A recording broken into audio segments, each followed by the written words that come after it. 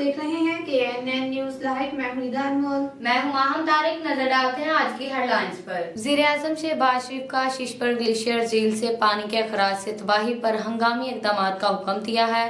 कहा कि अवाम के जानो माल की हिफाजत और महफूज मकाम पर मुंतकली यकीनी बनाएँ।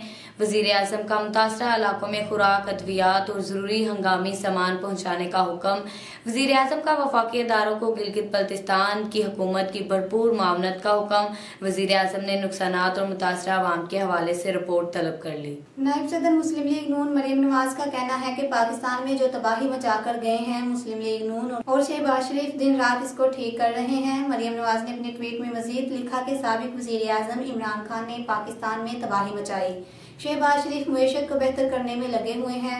मीशत को डुबोने और महँगाई की चक्की में पीसने वाले तोशाखाना को अपने जराइम साजिश की आड़ में छुपाने नहीं देंगे। एम के एम की रहनमा नसरीन जलील को बतौर गवर्नर सिंध नामजद कर दिया गया है। नसरीन जलील को तैनात करने की समरी सदर ममलिकत को भेज दी गई। एम के एम की रहनमा नसरीन जलील नई गवर्नर सिंध होंगी। पी सी बी के तहत सेंट्रल पंजाब क्रिकेट एसोसिएशन ने वीमन क्रिकेटर्स के ट्रायल का आगाज़ कर दिया। मोहसन कमाल की निगरानी में वीमन क्रिकेटर्स के ट्रायल लिए गए।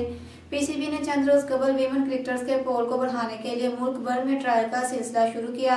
इस सिलसिले में खैबर पख्तूनख्वा में नौ मई, सदरन और नादरन पंजाब में 10 मई से ट्रायल शेड्यूल हैं, जबकि बलोचिस्तान में 12 मई और सिंध में 18 मई से ट्रायल का सिलसिला शुरू होगा।